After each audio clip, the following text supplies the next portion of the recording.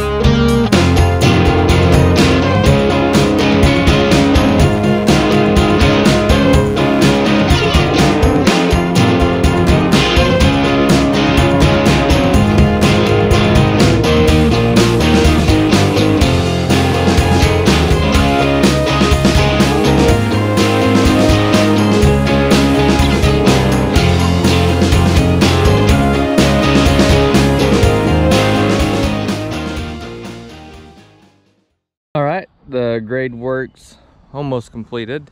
I'm gonna have to add some topsoil in, something that'll grow. This is mainly just clay. I was watching a video on installing the greenhouse and there's some give as far as grade goes. It's within probably two inches all the way around. The middle's humped up, but that's gonna be tilled up like I said. So what I'm gonna do now is go ahead and lay all the points out, get it squared off, and that'll be part two. As always, thanks for watching.